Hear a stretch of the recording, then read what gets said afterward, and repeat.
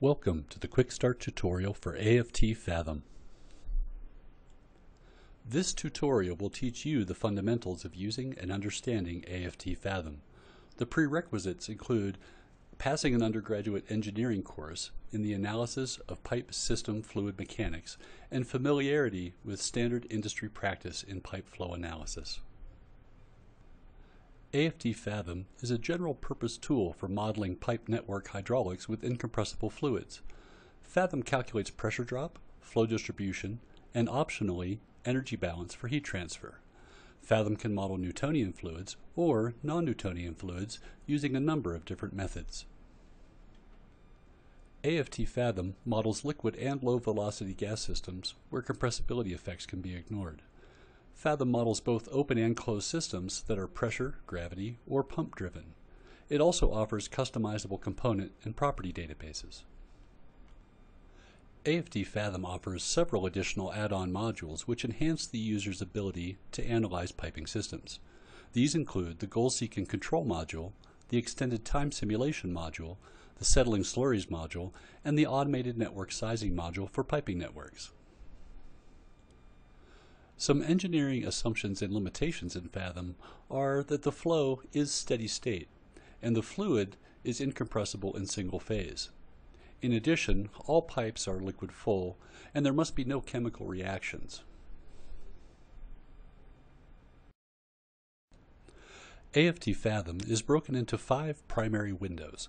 The workspace and model data windows are primarily for building and defining your model, while the output, the graph results, and the visual report windows are primarily for viewing the results. Let's explore the workspace window in more detail. To build a model, you will be using the toolbox on the left-hand side of the workspace window. To draw a pipe on the workspace, simply click on the pipe drawing tool and then draw a line where you would like your pipe to be located. To place a junction on the workspace, simply click on the junction and then drag and drop it onto the workspace. To move a pipe or junction, simply drag and drop it where you would like to move it to. To move one end of a pipe, you can either move the connected junction or you can drag and drop the handle on the end of the pipe. To enter input data, simply double-click on the pipe or junction, and a Properties window will open. The Properties window is the platform for entering data to define the pipes and junctions throughout your model. To help you identify the minimum required input data, we have highlighted those cells in blue. We will be disabling the blue highlight feature for this quick start tutorial in order to make the data entry easier to see. To toggle the highlight feature on or off, you can double-click in the background of any Properties window. There is a model status light in the lower right corner which will turn green after you are ready to run your model. If you click on the model status light, a checklist will be displayed outlining what must be completed prior to running your model.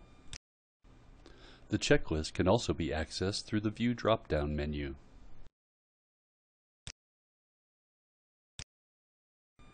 The solution control is defined by default, and the cost settings are disabled by default. We will discuss these checklist items in greater detail in a future tutorial. The System Properties window is where you define your fluid data, your viscosity data, and your system data. In order to fulfill the Define Pipes and Junctions checklist item, you must construct your model in the workspace and fill in all of the required data for each pipe and junction. Now let's dig a little deeper into the toolbox. The pipe drawing tool allows you to draw pipes on your workspace. Keep in mind that every pipe must be connected to a junction at either end. The minimum required input data for a pipe includes the hydraulic diameter, the pipe length, and the friction model. To help you define your pipes, we have provided a pipe material database which allows you to select standard pipe materials, sizes, and schedules. The branch junction is used as a generic connection between pipes. You can connect up to 25 pipes to this junction. By default, this junction balances mass flow, so all flow into this junction is equal to all flow out of this junction. The assigned flow junction is a flow type system boundary. This junction allows you to define a volume or mass flow into or out of the system, and Fathom will calculate whatever pressure is required to maintain that flow. The control valve junction allows you to maintain control at certain steady-state operating conditions. This junction can be modeled one of four ways. A pressure reducing valve by defining downstream pressure, a pressure sustaining valve by defining upstream pressure, a flow control valve by defining constant mass or volumetric flow rate, and a constant pressure drop valve which maintains a constant pressure drop regardless of the flow. The heat exchanger junction can be modeled a number of different ways. You can define the hydraulic loss model of this junction as a constant K-factor, a tube configuration, or a resistance curve. If you enable heat transfer in the system properties, you can also model the heat exchanger using one of 11 different thermal models. The pump junction allows you to define how the fluid is propelled through your system. The minimum required input data for a pump junction is an elevation and a pump curve, a defined flow, or a defined pressure or head rise. The pump configuration window allows you to enter a centrifugal pump curve as either a volumetric or mass flow rate versus either a head or pressure rise. To switch between volumetric or mass flow and head or pressure rise, or to change units, simply click on the drop-down arrow at the top of the respective column. Keep in mind that AFT Fathom is simply a tool that automates the process of solving fundamental engineering equations. There are a large variety of junctions available to you, each with unique features and many with overlapping functionality. The reservoir junction and the assigned pressure junction are examples of similar system boundary junctions. If you define these junctions the same way, they will give you identical results. The reservoir junction acts as a pressure type system boundary, sourcing or sinking fluid to or from the system. The minimum required input data for a reservoir junction includes a liquid surface elevation and a surface pressure. The assigned pressure junction is also a pressure type system boundary. This junction also allows you to define a known pressure and elevation, and as with the reservoir junction, Fathom will calculate whatever flow is resultant from that input. Now, let's model the simple pumped cooling system shown below in order to determine the pumping requirements. The system fluid will be water at 70 degrees Fahrenheit.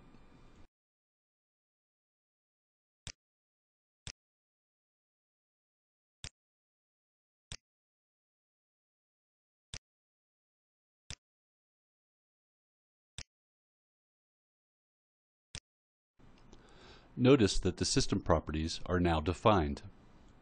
Now we'll build the model using the toolbox on the left.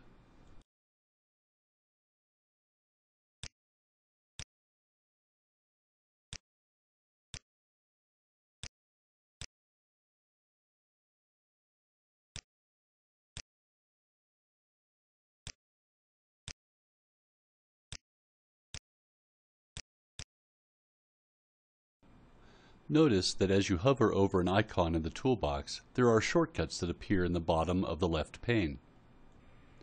If you double-click the pipe drawing tool, you will be able to draw multiple pipes consecutively without having to re-click the pipe drawing tool every time.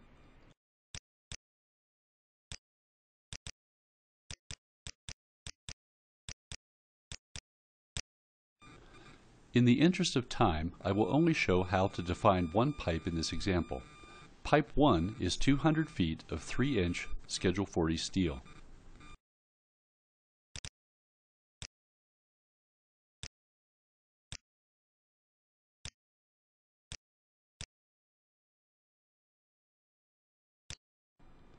If you are following along, please pause the video and enter data for all of the pipes in your model. All pipes are 3-inch Schedule 40 steel with the following lengths. You can speed the process of entering data for pipes and junctions by using the Global Edit feature, which you can learn about in a different video tutorial. Let's spot check a few pipes to verify the input data. You can review the input data of a pipe or component by right-clicking on it.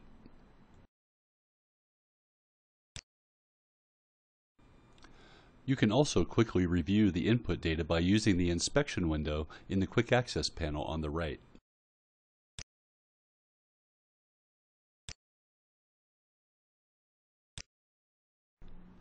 All of the elbows will be defined as standard with a K-factor per the Crane Technical Paper number 410. Again, in the interest of time, I will only define one elbow. All elbows will be defined the same except for their elevations, which are shown below.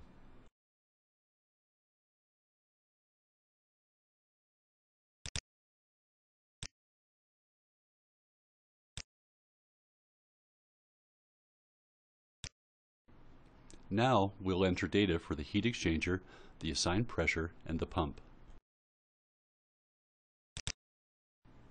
Notice that the elevation is already defined. By default, Fathom will automatically populate the most recently used pipe size and material, as well as the most recently used elevation. In this exercise, we will only be modeling hydraulic losses for the heat exchanger. We will discuss heat transfer in a different tutorial.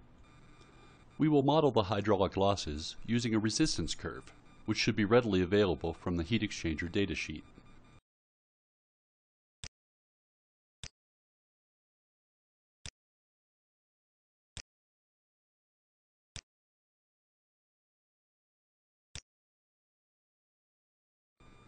After entering data for the heat exchanger resistance curve, we will plot a second order curve to fit these data points. This allows us to accurately capture different hydraulic losses for different flow rates.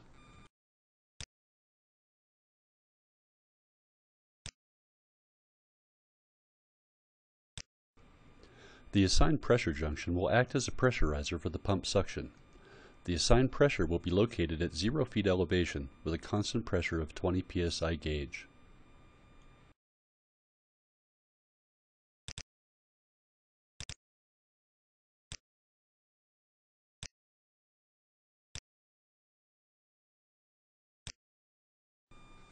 The purpose of this exercise is to determine the pumping requirements.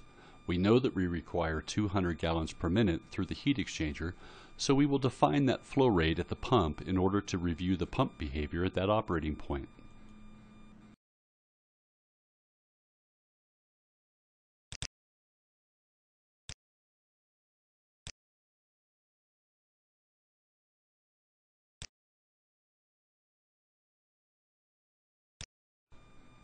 Notice that now our model is fully defined and we are ready to run it and review the results. At this point, many engineers will prefer to have a more consistent visual layout.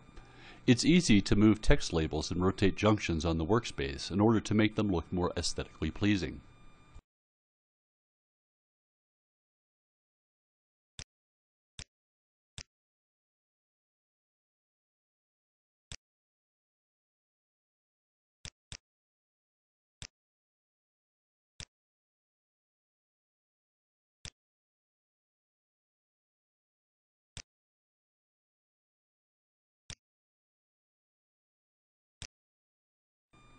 Now that you are familiar with the Workspace window, let's review the second input window, the Model Data window.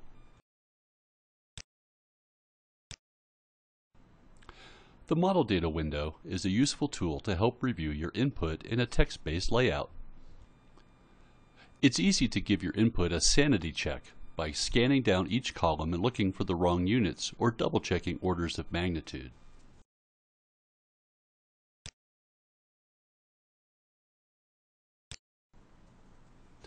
The input here is not interactive, but you can double-click on the row of the table corresponding to any pipe or junction and bring up its interactive properties window in order to modify any pipe or component input.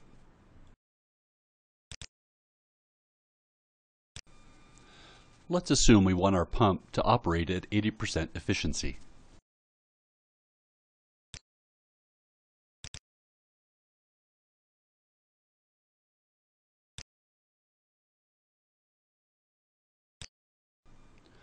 You must first save your model before you are able to run it.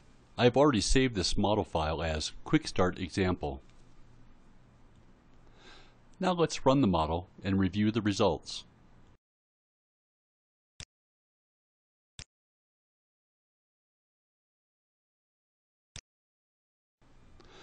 The output window looks similar to the model data window, except that now we are looking at the results of the analysis rather than the user input.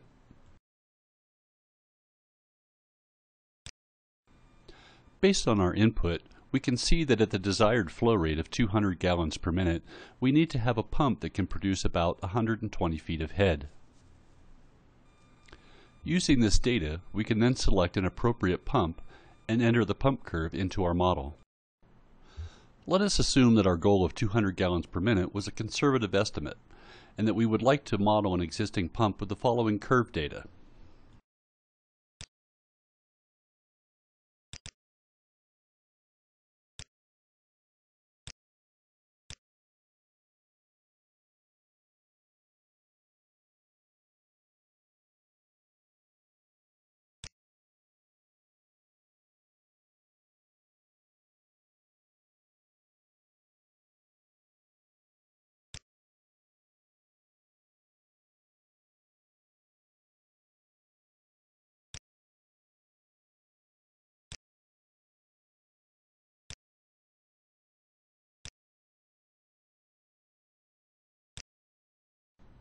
We can see that our selected pump closely matches the design criteria.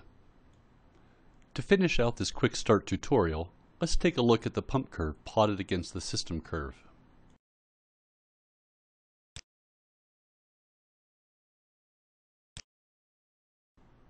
You can see that the intersection of the pump curve and the system curve occurs very near the desired flow rate of 200 gallons per minute. This concludes the AFT Fathom Quick Start tutorial.